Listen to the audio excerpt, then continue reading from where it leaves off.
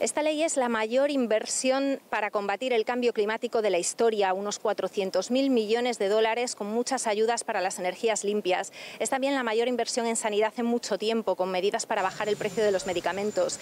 Y para pagarlos suben los impuestos a las corporaciones, a las grandes empresas.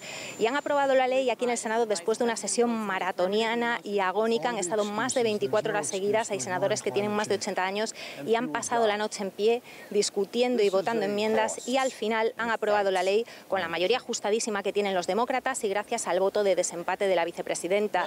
Esto es toda una victoria para Biden, incluye algunas de sus grandes promesas. Llevaba más de un año intentando cumplir todo esto. Lo que pasa es que le ha costado mucho convencer a un par de senadores de su propio partido, los más conservadores, y necesitaba todos los votos. Eso sí, ha tenido que rebajar mucho sus expectativas. En su primera propuesta había muchas ayudas sociales, educación preescolar pública, baja de maternidad pagada, que aquí en Estados Unidos el gobierno no la garantiza.